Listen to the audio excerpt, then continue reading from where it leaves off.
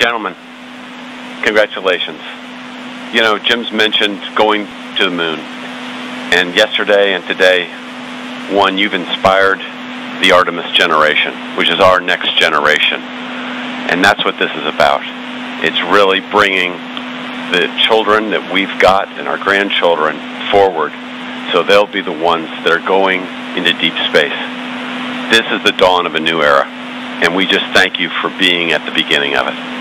Thank you so much.